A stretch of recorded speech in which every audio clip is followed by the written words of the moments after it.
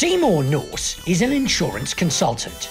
He's prepared for the most important presentation of his life. What he hadn't bargained on was. Marvin Haynes, still in the game. That is my client, and I have to take this call. Seymour's wife, Gloria, is a highly strung actress, nervously waiting for a call on a career saving TV role. Global insurance boss, Virginia, desperately needs a solution to the biggest cash crisis in history. Could Seymour have the answer? Marvin's mob boss, Alan. You're a criminal!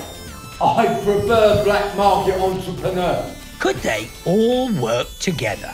Will they pull it off? And will Gloria get her TV series? Come along and find out in the funniest madcap comedy of the year Octopus Soup. The comedy with heart, laughs, and legs. Oh, strictly speaking, they're arms. It's a common mistake.